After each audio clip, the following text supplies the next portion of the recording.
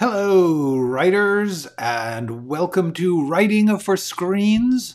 Writing my novel, Progress Report number one live stream. My name is Glenn Gers. I am the guiding entity behind Writing for Screens. I am teaching screenwriting here on YouTube on this channel. Uh, I also come to you every Tuesday and Thursday, if I can make it, at 1 p.m. live Pacific Standard Time. Pacific Standard Time um, to do live streams on various topics about writing. Um, uh, but the main thing that I do here is on this channel these first three playlists Screenwriting Essentials, Screenwriting Tools, Skills, and Craft, and the process, being a writer. This is where I have tried to put everything I can in the most useful form I can figure out, which is short 10 minute videos, lessons that I have tried to create and present in as useful and simple and uh, handy for writers uh, that I can make it. The main thing is you've got to figure out which pieces of it are good for you and use those because every writer writes in their own way. Every project requires its own stuff. And therefore, you need to figure out what tools and skills and processes work for you now. And that's the main thing I want to teach you. Uh, and in order to do that, I've tried to break down some of those skills and processes into these short lessons I do recommend, beg, plead for you to take a look at those. Uh, they are free, they are available 24 7. They are the big deal I have tried to put on the line. Hello, Michael. Hello, Everstay. You are very welcome. Thank you for coming. Hi, Nathan. Merry Christmas coming up to you. Good evening, Morbo and Captain Tim. Nice to meet you. Hello, Najo. Okay, cool. Cool, cool, cool. So yeah, um, today I'm going to try something new because people have asked for it because things are evolving here at Writing for Screens. Um, does titles on a screenplay need to be placed below fade in? Uh, no, you do not have to put titles into the screenplay. You can just figure they're going to put them where they want to anyway and so therefore don't worry about it. Um, some people like to like figure out where the title sequence will go and like say like cut to title sequence or something. That's cool if you want to do it but it's certainly not required. Also fade in is not required. Uh, maybe they'll fade in. Most likely they won't fade in. Honestly fade in is not the traditional way to start a movie anymore. So you can forget fade in. Just start with what you want to start with. Hello and happy holidays to you donna. I hope all is well down under. Okay, let's talk about this thing. this thing I'm going to be doing here. Um, it's going to be a new occasional live stream series, um, just like the old uh, screenwriting step by step, except I'm not going to show you step by step because it's too many steps. Um, so, what I'm trying to do here is just give you an occasional share my screen, look over my shoulder while I work on this novel that I've been working on since 1993. Um, but I am actually going to get it done now. This is this is the time. Um, so what I think it's is, is sort of like first of all a progress report, let you know what I'm finding easier and harder than I thought, but mainly uh, give you some some peeks into the process, the mechanical way that I'm doing it. The because I, I do think a lot of people have asked me about writing stories, fiction, ga- video games, things that are not scripts. Um, and it's a legit question, and I happen to be interested in that question. So I am happy to show you how I am doing it and to show you the things that I've been teaching about screenwriting that I think carry over really well. Storytelling is storytelling. A lot of stuff uh, uh, goes between different mediums, and a lot of creative process goes between different projects and mediums. So that's what I am going to be doing here. Hi, Lysanda. Nice to meet you. Hello, Ray. Um, yay, glad you think so. Um, so cool. Let's talk uh, talk about um, how I'm doing this, what I'm going to do here. Um, the first thing is I'm going to show you, just like with the last one, I tend to do the same process for any project, any creative project, which is I make a folder. I make a folder, and in this folder, I create several basic documents.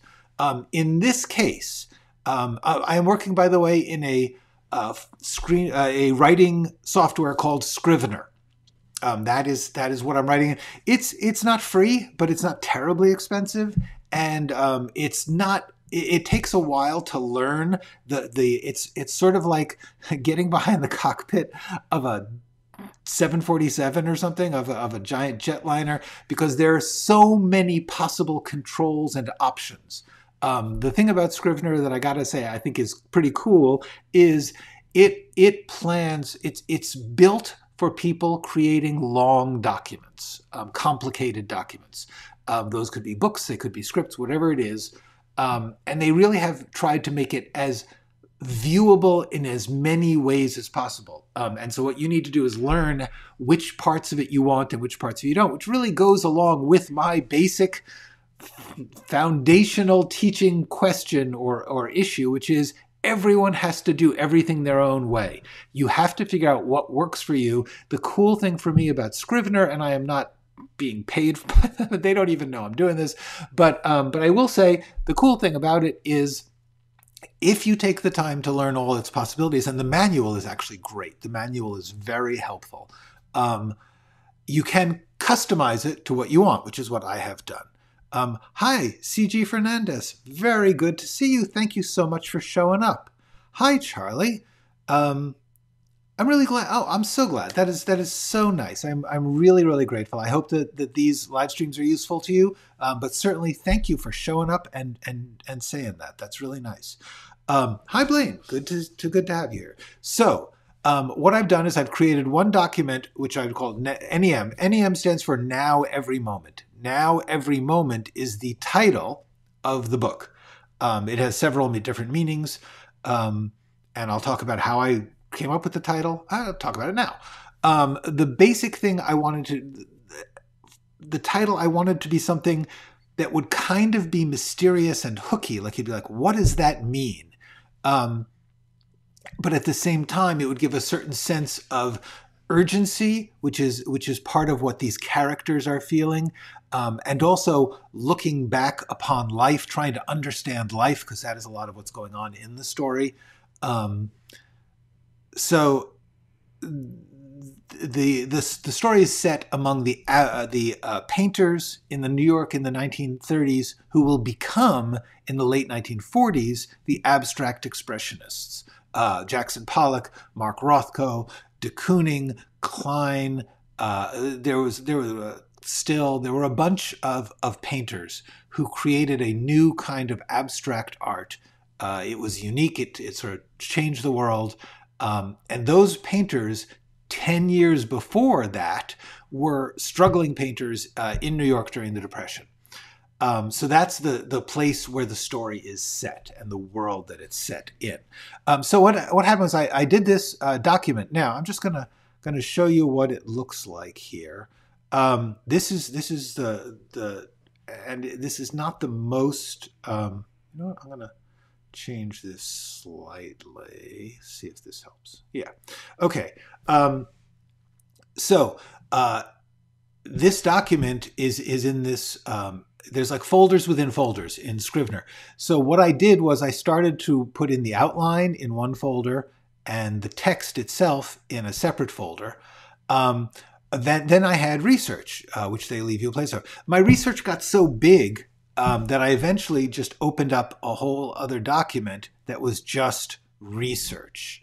Um, so that's what's going on here with this uh, separate uh, uh, now every moment and then now every moment research. And then there's an old folder I had, which is now every moment research, which is just a whole bunch of documents that I typed into and um, uh, then uh, things I gr- grabbed off uh, articles over the years, over the decades.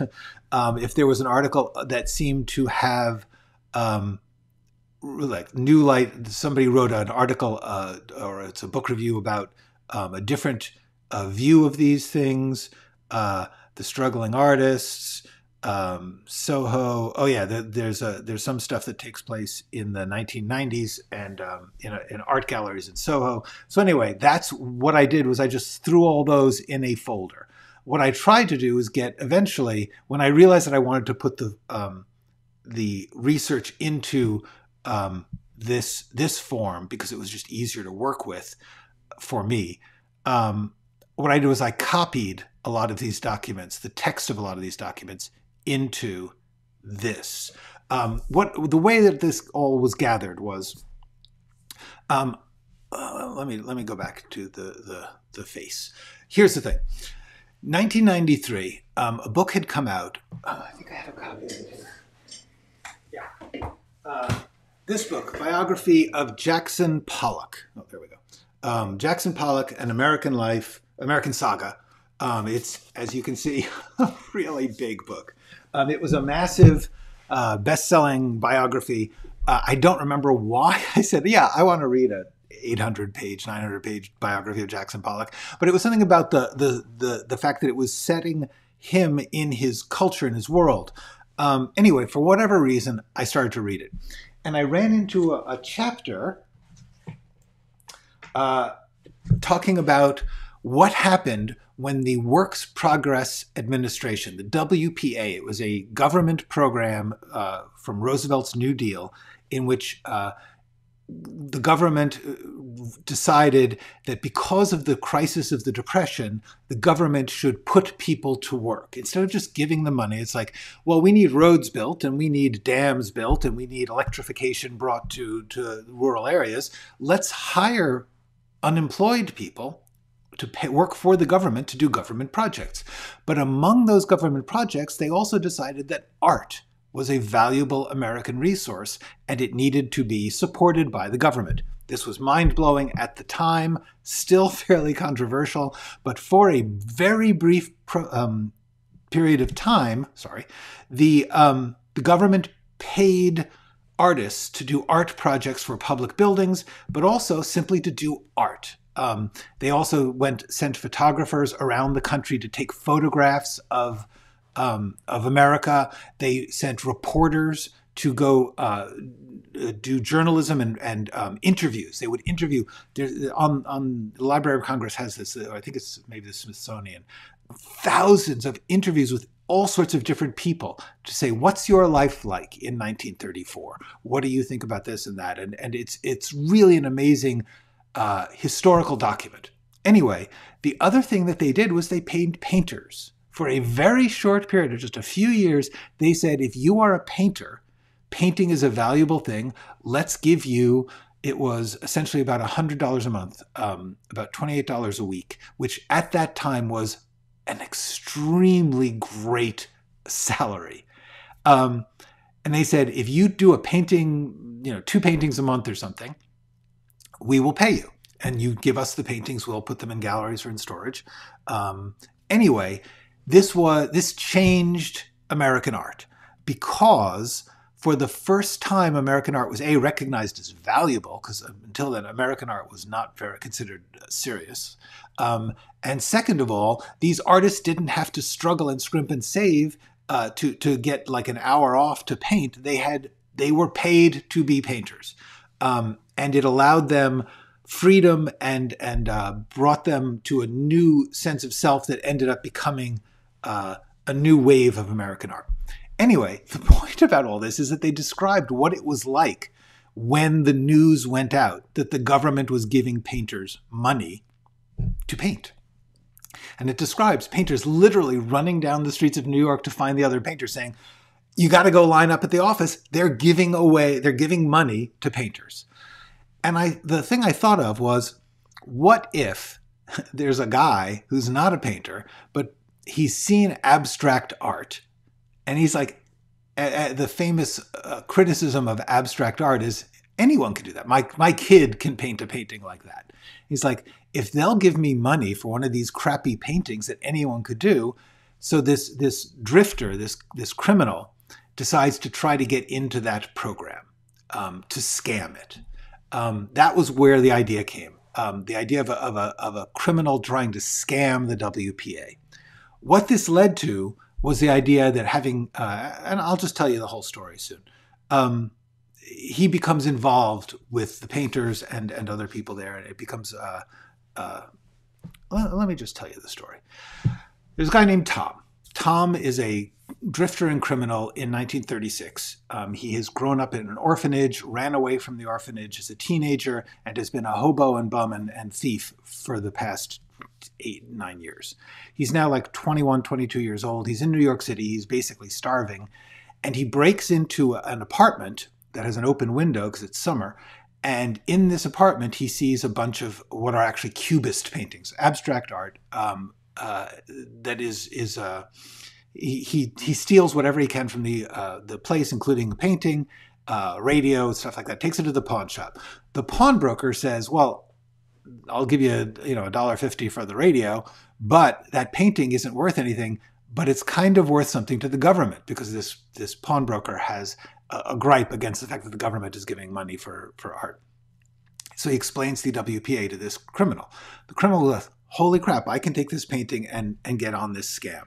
So Tom goes to the WPA, lines up on the day that they're doing the the, the um, sign up He's got some paintings that he stole from this apartment. Um, yeah, yeah, exactly. Um, but it seems worthwhile um, to, to, to, do that. Anyway, um, he's there. He is rapidly realizing that he's in over his head, that he's not going to be able to pull off this scam. It has to be an ongoing scam. In fact, he'll have to keep doing new paintings because you got to keep doing that to get the money. Um, another artist sees him and gives him this funny look. It's like, I know, I know what you're doing. Tom panics and leaves. The other artist follows him. The other artist is named Charlie. Charlie is actually a brilliantly talented painter. Um, he's, he's the son of a, a, famous Boston portraitist. He's a struggling uh, artist himself who's trying to find a new language for abstract art um, which the abstract expressionists will eventually do, but at the time, no one's thought of this stuff. Charlie says, I recognize those paintings that you are trying to say are yours as this other guy who I know. He had his apartment broken into. Um, and he says, This is a genius plan. Let me help you. Because Charlie um, is not eligible for the WPA for a couple of reasons. One, um, if you have family who can support you, you couldn't get on the program.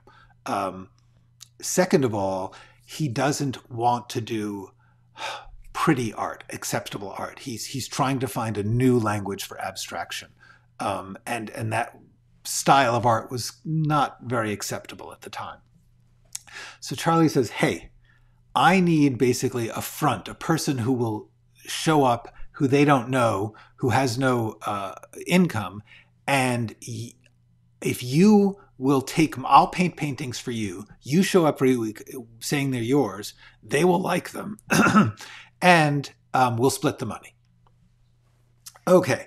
Um, thank you, Doxy Loop. although that's a scary name. Um, hello to Argentina.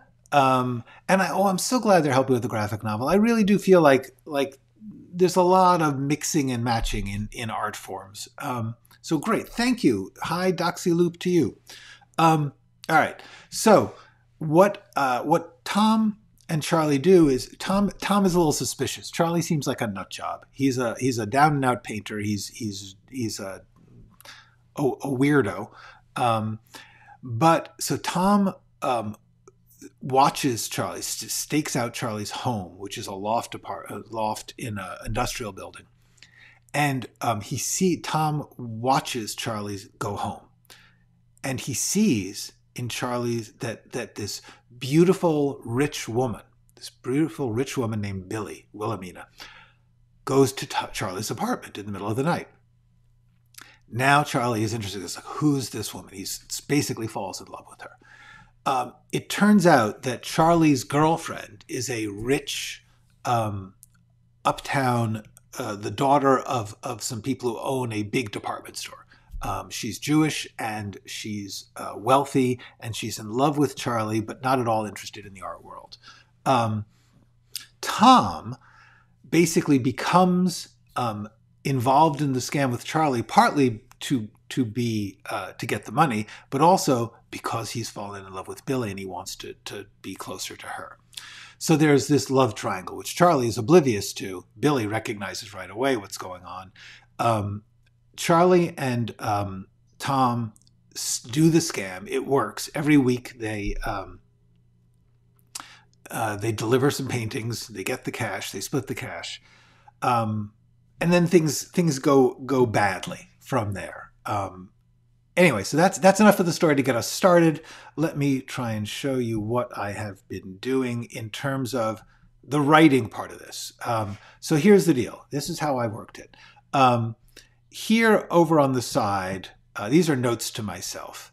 Um, but but this in this format, uh, I've got different folders. This is just notes and plans. For instance, things that I tell myself to do, like um, the the the understanding of how abstract art was different and and the the process by which abstract art proceeded in the 20th century. And um, Tom this entire novel um, is told by Tom. It's it's a autobiography written by the character Tom the thief um, in the form of four notebooks, so composition notebooks. If you're American, certainly you know that these these uh, bound black and white school notebooks um, that everyone has seen in America. Um, he has written his memoirs in these four notebooks. So, um, excellent question, Morbo. I will tell you, I originally started it as a script. In 1993, when I read that book and I got this idea, I thought, oh, this will be a beautiful, this is a great romantic love story movie. And I um, started to uh, outline it as a, a movie. It felt too complicated and too detailed and too, frankly, interesting. The detail, the story, the details of the story and the stages of the story and the internalness of the story was all stuff that just didn't feel like I could do it justice in a movie. Um, also, my experience uh, working in the movie business as I went along, because I started this just when I was starting to make it in the movie business. And um, so I would work a little on this, put it aside for sometimes months or years at a time, come back to it. Um, in the course of that time, I learned quite bitterly and, and quickly how little control and power a screenwriter has in the movie business. And this story, I really loved this story, and I did not particularly want to give it over to people who were going to say, oh, why don't you take out that character, or why don't we just cut this entire sequence? Um, it just didn't feel right to, to do that. So I decided to write it as a novel.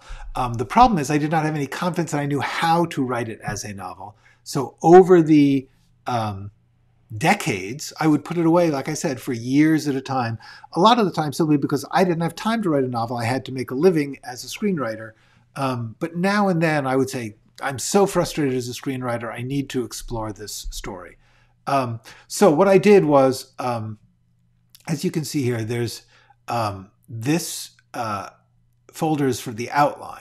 This outline is exactly how I would outline a script, but it's just a lot more scenes. So in this outline, uh, things are color coded to say basically how far along they are. Um, yellow is pretty far along. Um, the this sort of brownish orange is is not so far along, etc., etc. Um, so here's the deal: there are four notebooks as the structure of this story, um, four sections of Tom's memoir. Um, but in between each of those notebook sections, there's also a a section just written by me, the author, to you, the reader, um, which describes five incidents. The first incident is this teenager um, in in Gallup, New Mexico, um, finds he's he's he's a firebug, a kid who just likes to set fires um, uh, because he's got emotional issues and, and trouble at home, and um, it's it's a, a, release of of um, destructive energy to set fires he's out in the woods and he sees this shack. And he breaks into it to burn it down. And he sees that the entire thing all the walls everything inside are covered in in painting. And they're all this sort of fantastical semi-abstract paintings. Um, and and the place has clearly been a a an artist's studio um, for years and now is abandoned. And he just can't burn it. it's just too wild. It's just something, not something you never see. This place is, is a work of art, a work of outsider art. Um, so he leaves. Uh, then we read the first notebook, which is Char- uh, Tom's memoir of, of meeting Charlie and getting into this, uh, involved in this love affair with uh, Billy. Then we stop in between the two notebooks. Um, there's uh, a description of a crew, a construction crew, who are clearing the land to to build housing development. In uh, and they're clearing the land where this shack was that the teenager found. Um, the the crew finds this shack. They're like, "What is this? This weird art artwork place full of of, of stuff apparently abandoned. Whoever lived there is gone." And um, they find this trunk full of personal belongings, including a lot of uh, rolled up old paintings and whatnot, but also these four notebooks. So one of the construction crew says, I'm going to take this. I bet this is worth something. Um, you know, you, you, you hear about like somebody finding a painting in their attic. It turns out to be a Rembrandt that it's worth a million dollars. He says this may be worth something. He takes the trunk, and then um, the we have the next notebook, and then the third section is about uh, a gallery in New York. The gallery in New York is named for Billy, the character who's been in the notebooks. And there's this rich woman who uh, was in love uh, with Charlie, but having an affair with Tom at some point. Um, apparently, in the 1940s, started an art gallery for abstract art in New York City. It is now in the 1990s a famous old gallery the people who started it are long dead. However, this guy from New Mexico brings this trunk of paintings because he read the notebooks and said, Oh, this person who started this gallery is in this notebook. Brings the trunk to the gallery and says, What's this worth? The guy who runs the gallery uh, could not care less about 40 year old, 50 year old um, unknown abstract artist, uh, says, it's not worth anything. so um, the the construction guy says, "Okay, I tell you what, I'm going to leave it with you. If you find it's worth something, split it with me." Um, the gallery owner says, "Sure." Uh, the gallery is actually going out of business soon anyway. The art world is changing, so the gallery owner just um, has it put in the basement. The, then another notebook. Then the next section is about an intern working at the gallery in the 1990s when the gallery is closing. And the intern is um, told to take to, to clear out the basement, which includes they find this trunk. Um, this intern is a uh, an artist, um, a conceptual artist in the 1990s. Um, she's a woman. She's never doesn't really have that much appreciation for this kind of old abstract art um, and is is very much a, another perspective. The gallery owner, each person has a different perspective on the art, um, and the uh, intern looks at the it's like that's sort of, interesting, and then basically puts it on the truck to be taken to the dump. So whatever was in this, including these four notebooks and the paintings, is getting thrown into the dump. Um, then we have the last notebook, and then finally the last section of the book is a nurse at a nursing home in New Mexico uh, in the late 1990s. Um, she has had a patient who just died. Um, the patient was an old guy, um, had had some strokes, was not able to speak, but he did love to paint as badly as possible. But we we don't know who this guy is. He's uh, we assume it's Charlie, the painter, from the rest of the story. Um, but the point is, he has died, um, and the nurse brings home one of his paintings, um, which she just found emotionally powerful. Um, and so she keeps the painting. Um, and that's the end of the story. Um, the, the, the story within this is that Tom, um, Tom and, and Charlie um, do this scam for the WPA, which allows Charlie for the first time to, to have freedom to do his art. He, Charlie cannot figure out what the exact kind of abstract art he wants. He wants to break through to a new type of art. He can't quite figure it out. Um, he's he's kind of fallen apart. In the meantime, Tom and Billy are sort of circling each other. And at the end of the first notebook, um, uh, they end up um, making love on New Year's Eve at a, after a New Year's Eve party. Tom and Billy make love. The next notebook starts the next um, uh, the next morning, New Year's Day, 1937. Um, Tom goes to Billy and says, like, "Oh my God, we made love. It was beautiful. It was great." She says, "It can never happen again. Um, I am in love with Charlie. It was a mistake. I, I, was just upset because Charlie's been such a mess, and I know you love me, and and but this is not. I, I truly love Charlie."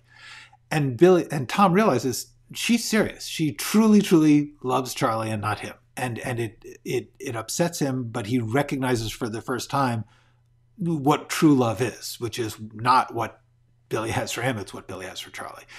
However, what happens is Billy, provoked by what's happened, goes to Charlie and says, Why don't we get married?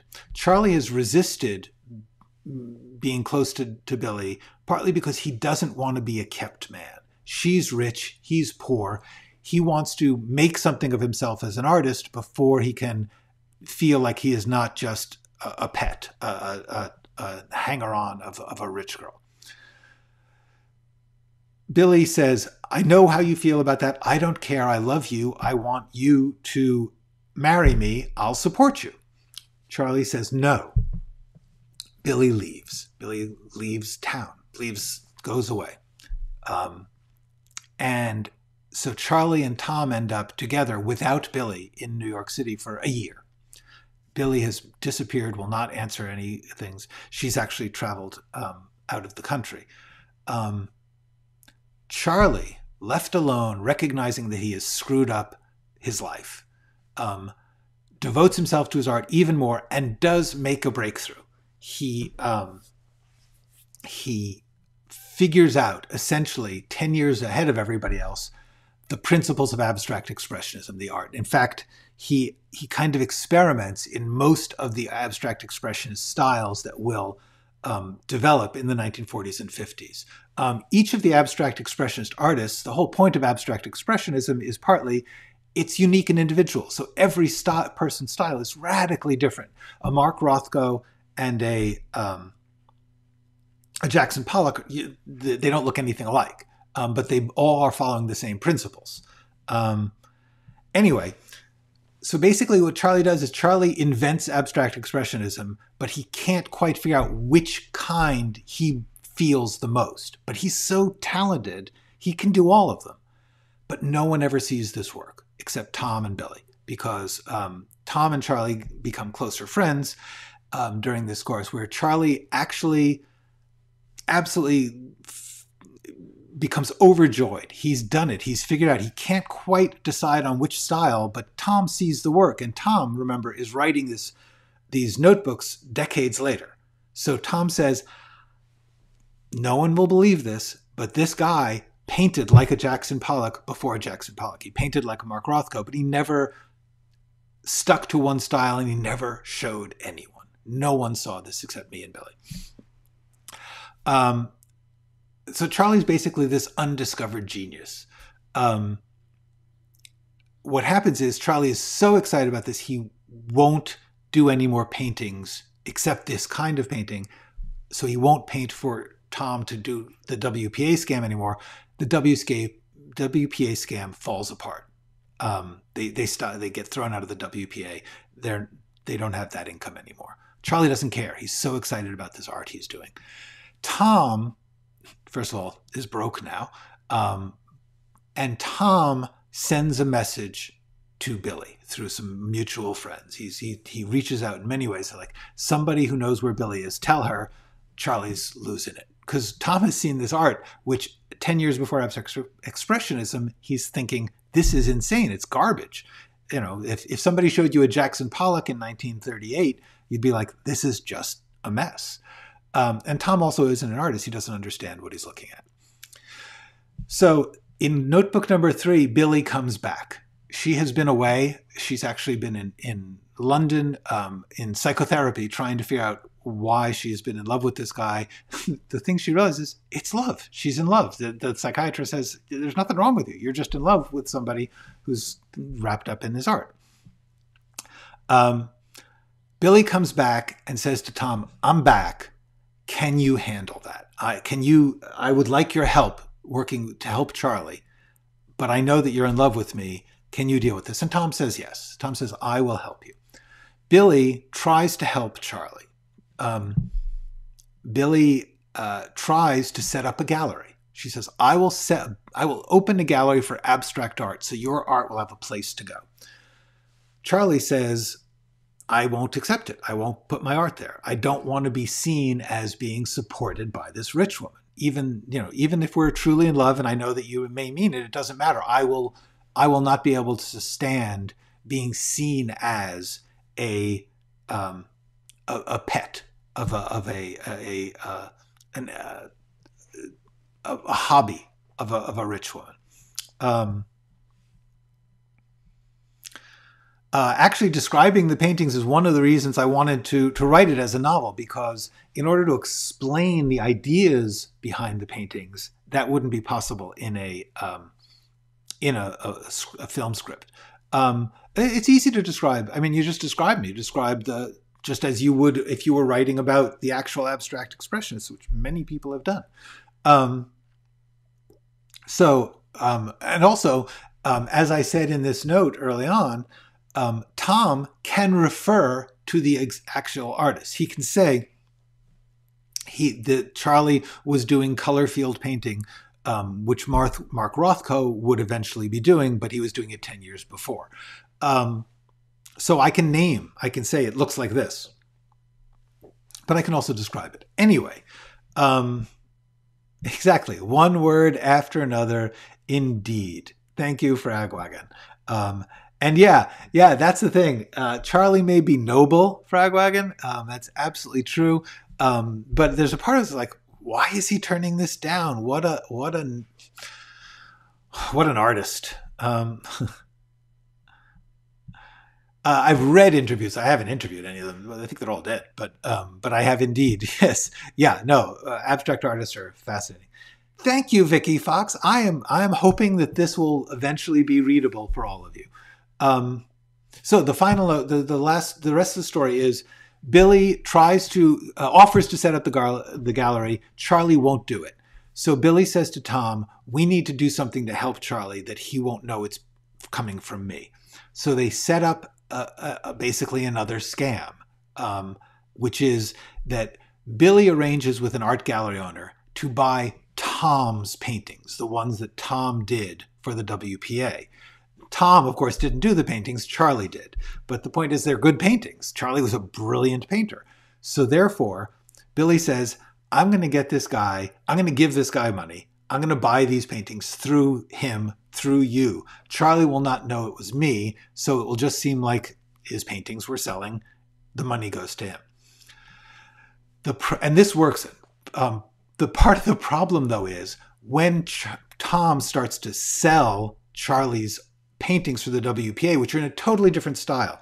Charlie, for the WPA, painted in a very acceptable um, social realist uh, uh, American uh, scene painting. There's a, there's a whole style of 1930s painting in which painters painted uh, the world as we know it, the Americans. Um, anyway, so the point is, Charlie is devastated by this. Charlie is destroyed, not knowing that Billy's behind it, but simply he's destroyed that these paintings that he did essentially as a as a scam are being bought for a good amount of money when his art is not acceptable. And it, Charlie stops painting altogether. So this plan that Billy has worked out with Tom to, to help Charlie actually destroys Charlie's will. It's like he's like, I give up. I'm I'm I can't do it. I can't break through the system of of the art world. No one will understand what I'm doing. Um, and Charlie therefore gives up on art and says he'll marry Billy. So now Billy has got what she wanted, which is she's marrying Charlie, but Charlie's broken. Um, and Tom, who was trying to help Billy and Charlie, has helped them be destroyed. And in fact, um, in the misery of this, Charlie is is even more inaccessible, and Billy and Tom become lovers again. Although it's a bittersweet love affair because both of them know it's not really love. Well, they know that Tom loves her, but Billy doesn't love him. But they take comfort in each other during Notebook 3. Um, in Notebook 4, Charlie agrees to marry Billy and um, and they go away. They, they go off on their honeymoon. Um, and when they do, Tom, who has been living this, this alternate life, you know, he was a hobo and a criminal, a thief, um, until he met these people. And he's spent the past three or four years in this fascinating um, community and, and life. He's had this whole life. Now he has to go back out to drifting. He has he doesn't. He tries to go back to being a criminal, fails terribly. He tries to rob a guy coming out of a bar. He gets stabbed. He ends up in the hospital for months. By the time he gets back to New York, Charlie and Billy have gone away on their honeymoon. But there's a message for Tom which is that Billy has left a bank account for him that he can live for the rest of his life, uh, getting monthly payments from this uh, this lawyer. Um, Tom doesn't uh, accept it, and they say, "Well, the money's going into the bank. You know, take it or not. Um, Billy wants you to have it." Um, I, I, see your questions, by the way, folks. I'm going to answer them real soon. Um, so what happens is Tom ends up living in Hoboken, which is right across the river from New York City. You can see New York from Hoboken, but you're safely out of it. So Tom can live there, sort of go into the city now and then anonymously, um, but he's he's out of that world that he was in, that downtown uh, New York art community, but he can't really leave. Um, and so he ends up getting a job in in Hoboken and um, living there, and he starts painting, and he starts painting Billy. He starts painting the like he he's finding his own um, amateurish but but personal outsider art, um, and basically, um, so he he lives there until um, Charlie vanishes. Charlie has been unhappy in his marriage. The war starts Char- Second World War. Charlie vanishes. Tom ends up going uh, to see Billy. Turns out that um, basically what happens is Billy and, and, and Tom get together. Charlie has, has left because of his unhappiness. Um, it turns out that uh, Charlie has gone to volunteer in the army. And um, uh, a couple years pass. Tom is living with Billy. I think I think he's living with Billy. I can't remember. Um, and somebody tells him Charlie's back in New York. Charlie is uh, operating a newsstand, Times Square, like a newspaper stand where they sell newspapers. I don't know if you guys know what that is anymore, but they used to have these little booths on the corner where you'd get the newspapers and magazines and shoe shines and, and candy bars. Um, Charlie is blind. He was blinded in the war in battle. Um, and Tom uh, get reconnects with Charlie. Charlie has um, basically Charlie ran away um, from the from his misery in in the marriage, um, and he um, he doesn't want to be a burden, and so he's he's living um, as a blind news dealer. Tom reunites Billy and Charlie goes off on his own, takes the money that Billy gave him, and, and wanders for the rest of his life, um, living his life and, and painting. And that shack that we found in the in the other stories, that was Tom's shack. Tom has lived the rest of his life as an artist, um, inspired and um, consumed by what uh, he he discovered in life with Charlie and Billy. Um, that's the end of the story. so so that's the that's the story. It's very as I said, it's very very complicated. This is why uh, it wasn't a good it wasn't a good screenplay. Um, okay, so let me let me quickly get some answers here. Okay, first of all, Kay, thank you. Uh, really glad you liked the story. Um, hello, Camilo. Um, okay. Uh, yes, I am actually writing it. I've actually written. I, am glad that you're recovering. Good good. Key, stay, get rest, and, and drink fluids. Um, I'm curious, did you come up with the whole notebook story before the framing parts? Um, ah, great question. Here's how I came to that. Originally, when I thought of this, it was going to be a screenplay. And what it was going to be was um, a, a, story that was told by an old man um, to a young couple.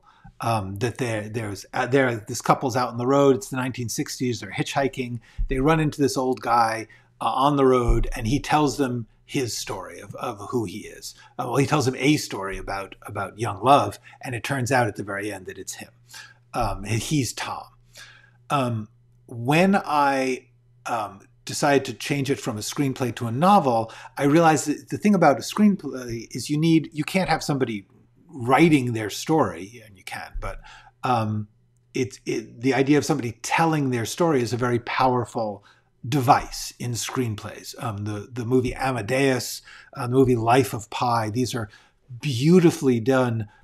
I will tell you my life story movies. Um, very powerful. Really love those two movies.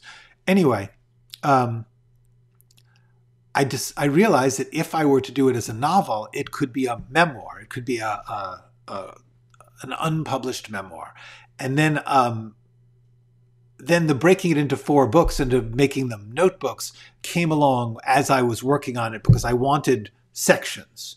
I, I, knew that it had to be broken into sections. Once I thought of the sections, and I thought, well, how would he write this? You know, he could have typed or something, but the idea of writing them in physical notebooks that they were limited, that you were forced to break it into pieces as you're telling a long story, it seemed like a great way to play with the uh, reader's expectations. Because one of the cool things you can do with the structure of a novel is um, you can change points of view. Um, it's very hard to do that on the screen. You can do it. Um, but in a, a, novel, it's the easiest thing in the world, and it's a great thing to play with. So, what I wanted to play with was these shifting points of view around this mysterious figure who was living in this shack. Um, so that's how I came up with the idea of the of the notebook thing, um, which gets into a, like a, an interesting concept, which is the question of of um, how you structure a novel or how you someone's walking their dog, um, how you build uh, and and and create a novel. Because like I said, for one of the reasons this took me so long is that I did not have confidence that I knew how to write a novel, even though I could write a novel. Um, I had actually written one many years ago, but I just felt like, what's the right way to do it?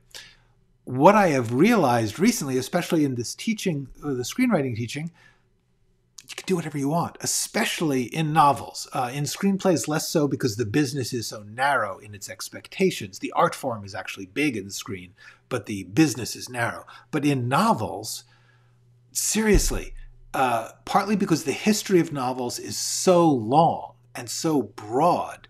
People have experimented in all kinds of ways and it's and discovered all possible, all sorts of possible methods for making a novel, um, including uh, uh, novels in the form of letters, novels in the forms of memories, uh, or, or, just straightforward storytelling. They're all possible, um, and there is not a right way to do it. Um, and and once that came to me, I was like, the cool thing about writing fiction is you can you could break it into 160 parts. You could tell it in one sentence. I mean, you know, this, whatever you want to do, it's a legitimate form. Um, so that's that's what was I was operating with um, when I uh, when I realized I, I was basically allowed to write this. Um, is the story first person? Ah, this is a great question. The notebooks are first person because it is uh, Tom's handwritten memories. And he writes, I was. Um, in fact, here I can show you. I have, uh, at a certain point, I took several months and I wrote um, a rough draft of what I could. So um, this is like I have, I have about 50 or 60 pages of, of the text. Um, so it, it, starts out, I've always been a thief. Um, and it's, it's Tom's, um, Tom's memories. Tom's writing his life story. however, the um, the inter chapters I'm calling the the things that are between the notebooks are third person and written in a very different voice. Um, so this I'm still sort of sketching in. Uh, I put them in italics so it's very very clearly a different thing. Um, so that's how I. Uh, and and the thing about the uh, these interchapters is they can be much more poetic, um, and that's one of the things I wanted to do um, was was have different languages, different voices. Um, okay, all the yes, indeed. Uh, um, well, uh, the thing about it is is it's not just about the money; it's about the relationship, the, the, the dependence, the, the lack of equality, the dependence. It's it's very hard to be dependent. Um, some people, you need to be dependent. You need to accept your dependence. It's not bad, but it it it it exacts a toll on a relationship. Um, good fragment, yes. Um, is it possible to adapt the television miniseries into a novel? Yes, um, or reverse. It is possible to adapt a novel into a a, a, um, a miniseries. And one of the things I kind of I wouldn't mind if when this novel is done, some production company sees it and says, "Oh, this would make a great novel, a great miniseries." Um, yes, yeah. Uh, one of the things is that that while you can do anything in a novel, you do want to structure it. Um, and and one of the things I decided to do was I wanted there to be a sense of a mystery and a, a, a thing that we think we know. So we find this the, the point about the the um, story is uh, the structure of the story is by opening it with this kid discovering this mysterious place. You raising a question. Who lived in this place? Why did they do this thing? Imagine this, this little shack in the woods, and every inch of it, every part of the walls, the ceiling is painted um, with, with abstract art images of, of um, of this beautiful woman and the, the New York City and all this sort of like abstracted um, imagery of Tom's life. Um, but we don't know it's Tom's life yet, but we know it's somebody. We know it means something to somebody. Um, and so that um, essentially sets the hook. It says, this is something you're going to want to understand later, but we're not going to explain it yet. And so, all during the story, uh, the notebooks, the memoir, you are noticing clues. Like once you meet these characters and they get into painting, which is very, it's in the first 10, 15 pages, um, that Char- Tom gets into the world of painters, you realize, ah, somebody in this story is a painter and it's going to be their shack. But what I tried to do is make sure that there's hints, um, and, I, and I say this here in the outline, um, the what I want to do is fake you out. I want you to think that Charlie, having failed to to become the great painter he could have been, and having um, been unhappy in his marriage, and he leaves his marriage, up until the fourth notebook, I want you to think, oh, he ran away and lived in a shack and painted on the walls. Um, then what's going to happen is at the end when you realize, oh my God, it wasn't Char- Charlie. Tom got Charlie and, and Billy back together, older and wiser, and it was Tom. Um, the last sentence of the of the book um, is have I written it yet? I think I have. Um, yeah. Um, be careful what you take from people in this world. It might never let you go. That's going to be the last sentences of the notebook. Um, the idea that it starts with Tom saying he's always been a thief. And what he stole in the course of this story um, took him over, which is he stole this love of painting. He thought he thought he was stealing love. He thought he was stealing um, the art. What ended, up happening is he became an artist, um, and and that's the the secret structure of the story. Um, so I wanted to build it structurally, just like I would tell you in a, in in a screenwriting story. Think about where is it going to end? What is the end of the story? The end of the story is going to be that Tom had this intense love and education, emotional and moral and aesthetic education with this love affair that went badly. Um, and it changed him for the rest of his life and gave him a purpose, gave him a, a, a powerful driving force in his life. Um, okay, so um, thank you. I am very glad. Ah, so to write about another time, do you research that period? For example, customs, ways. Yes. Um, yeah, yeah, yeah. Okay, so let's talk about research. Um, let me see. Do I have the research here? I, oh, I closed it. Okay. Um, here we go. So research, yes. Over the course of time, as I was doing this, um, I began to research um, uh, just stuff about the history of art, um, the WPA. Um, I would there. There are many books about this, many uh, uh, memoirs, um, and so I just started reading them, taking them out of the library. Um, and when I found something that I thought was valuable, um, I typed it out. I typed it. This was back in the 1990s and early 2000s, and uh, there wasn't scanning.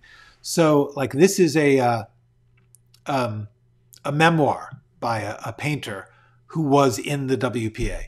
Um, I typed out a lot of, of information. I typed out information from um, uh, histories of the WPA. So I have hundreds of pages of stuff typed out. Um, these are just facts about how the WPA um, worked. I just type it all out. Um, then there's then I type stuff about uh, the painting, the, the history of the painting, the, the theory of the painting. Um, and so what I've done is, yes, I've gathered this research. The important thing that I've had to now learn is it is it is very valuable to do it. There's no point in just learning all of this history without an organizing principle. I believe that it is most useful to uh, research along with writing the story. Because until you know what the story is, you don't know how you could use this research. Um, that's my only because it's for me it was just too easy to get into this research and spend i mean this took you know it takes months and months to do this. Um, not full time but but i would read these books type out these quotes um, trying to just get get the stuff into my head and onto into a place where i could find it um, but until i knew where was i going to use it in the story well there's going to be arguments among different painters that Tom knows in this community who take different stands on what abstract painting should be. Also, Charlie, in trying to explain what he is trying to do, will essentially um, speak the voice of abstract expressionism. And so, when he's trying to explain why his painting is not working for him yet, um, he will talk about the ambitions that the painting will have. I needed to research what was it they were trying to do? What did they think they were doing?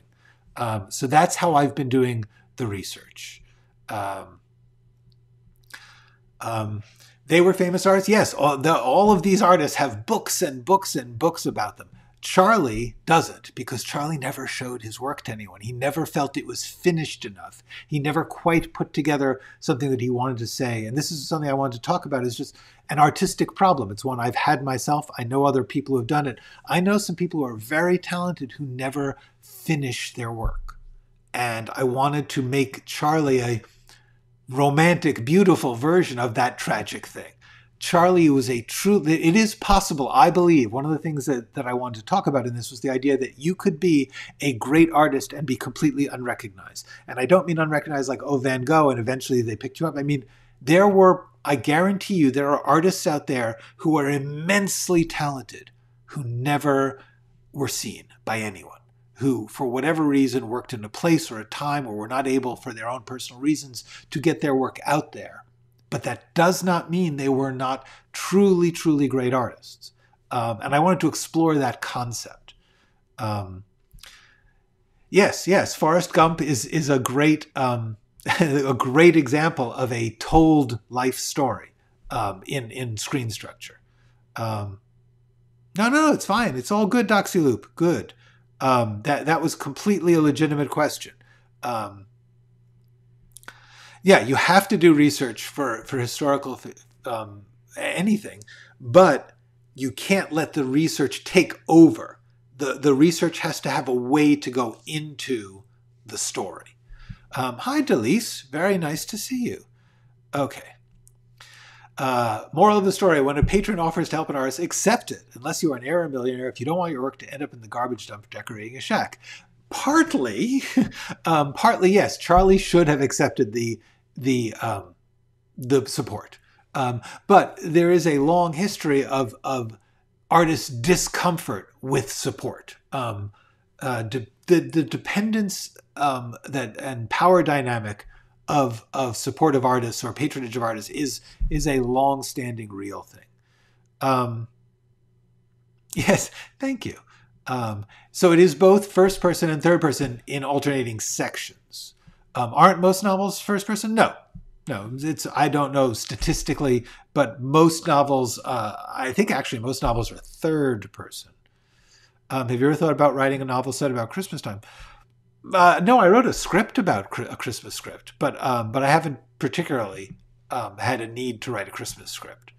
Um, yeah, yeah. The most third, first or third, second is very rare. Um, oh, first person novels, they're great. Great Gatsby is a first person novel. Um, Six first, yes, the six questions um, are essential to encourage me in my work too. That's that's what I want to do. What's interesting though is um, in the difference between a novel and a screenplay. The the six questions are easier to keep track of in a screenplay because there's just less that's happening. I mean, there are relatively few scenes in a screenplay compared to the novel. Um, yes, exactly. One last painting is hanging on somebody's wall. Um, cool. I'm so glad. Yes, transformation, the story of things happening and people changing. Um, I, I'm hoping next fall, uh, if if I keep working hard, um, I got to tell you that making the videos for for the the writing for screens is taking up a lot of time. So I have to I have to decide how much research is appropriate. At what point do you say I'm not ready to? Uh, I, I think this is a great question. I believe that you have to say uh, I'm not writing my paper. I'm going to continue my story now every day because it is way too easy to research for the rest of your life. Um, it is so much fun. Research is such a blast. Um, however, what I've one of the other things that kept me from writing this was I felt I haven't done enough research. I don't I don't know how to structure the re- putting the research into the story. One of the things about teaching you guys screenwriting was I had to say to myself, what would I say to someone who had that problem? and the answer was remember that the work you are doing in the research has to have a place in the novel or it's never going to exist for the reader. So therefore there's there is no there is no use for it. And and you need to in order to not be Charlie, you need to say I have to think about how uh, I have to make my story. Like what I've been doing lately is I spend most of my work time going through the outline. Uh, I'm going through the outline, um, and like some of the stories. Oh, this is the text. Sorry. Uh, I go through the outline, and um, I will say like, okay, here's just this is what the scene's about. Um, these are this is some notes, but the point is each each scene I'm describing what happens and uh, then I've got these notes to myself about what he's feeling. Um, so I I am I'm working through the outline because some of these things in this um, uh, outline I've got a lot of questions. I, I, for those of you who know my outline system, if I have a question, if I have something I don't really know the answer to yet, I put it in pink. So we get some of these things where it's all pink. I've got uh, a, a, story here, and like I know that this is, needs to happen, but I don't know. I just don't know anything about this. Um, a lot of questions, a lot of questions. Um, anyway, so the point is, um, these are all um, the outline. I'm spending my time. I take on a certain scene and I just say, answer the damn questions. Try and work through why I what I need to know about each thing. In the afternoon, when my brain is fried and I still want to do some work, but I can't look at the outline anymore, then I'll go through the research. And basically, what I'm trying to do with the research now is just pick out useful bits, just phrases, words, ideas, and put them into a form where I can use them. And frankly, deleting a lot of, or throwing away a lot of the research because the point of it is I need to get it down to bits and pieces that I can put. Like I'll say, this is a great description of where a painter's painting. What scenes can I use this in? Which is why I have to say, even though it's not a screenplay, this video, Think in Scenes, is coming up really, really, really handy for me. Which is, I've started to say to myself, like uh, this research is so beautiful. I, I love to know about the the lives of these different artists and the way the galleries worked and all this stuff. Where am I going to find the scenes? And and now my outline is getting detailed enough that I can say, oh, it'll be in this scene, this scene, and this scene. Um, and that's what I'm trying to do with with the uh, the research and the um, how to stop researching. Do you think this story, and historical fiction in general, gains or loses meaning and value as we get further from the time? Um, that's a great question. I would say um, the distance of time doesn't matter as long as the story can make it accessible to us. I believe that those that periods, distant periods of time, do become less and less accessible. Kind of the point of historical fiction is to give us a way to connect with a time that is now inaccessible. So I don't believe that um, this story will be inaccessible to 21st century people, even though abstract art is no longer a controversial concept. But one of the coolest things, actually, one of the things that Mad Men taught me a lot, the, the TV series Mad Men, the point about Mad Men was to say it was not so long ago that marriages were uh, worked this way and it was completely acceptable to smoke a cigarette all the time and the people were trying to figure out how to sell cigarettes and all these things that um, that in that historical period were were meaningful and to remind us that things have changed that the things that are now accepted as true were not always accepted and what that did to everyone and what it reflects on for our life. Um, good historical fiction makes you reflect on it, informs you about the past and gives you an appreciation of the past but it also reflects on the values that we now take as common because you recognize that they are they were not common then. Uh, yeah to a certain extent yes. Luckily the period lingo is not terribly different. Um, that's interesting uh, research enough to yeah basically write until you need to know something. I found that it's still important. The, the question i guess is do you write? And for me the important thing is i have to outline before i can write a scene. So therefore outlining is really where the questions arise about how am i going to describe painting? How am i going to explain the difference between abstract painting and non-abstract painting and the different forms of abstract painting? Um, Yep, exactly. Very often you'll hit a specific question and you stop and research that. Um, that's that's great. Yeah, it's it is awfully fun. Um, ah, well, you know that's and once you get the answer to number six, once you know how the story ends, it will get better. Um, Thank you. Yeah, I got to say, I am not unmindful that I have now gathered uh, an audience of, of, of uh, screenwriting students um, through YouTube that I will uh, definitely say, "Hey, I wrote a novel. You want to read it?" Um, how came to mind? Horse's Mouth. Yes. Um, interesting. Horse's Mouth is yeah. Um, Horse's Mouth is a novel about a painter in I think Ireland um, or England um, back in the 1920s or 30s. Um, haven't read that in a long time, but uh, yes, thank you, Vicky Fox. Um, Yes, I hope so. I certainly hope so. Hello, Enco. Um, the name of this software is Scrivener. Let me let me see. Have I have I written that yet? Yes. Okay. Scrivener. That is the name of this software.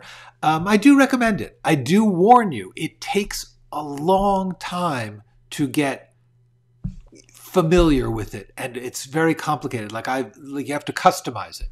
Um, but but Scrivener is damn good for writing long, complicated documents. Um, thank you, Vicky.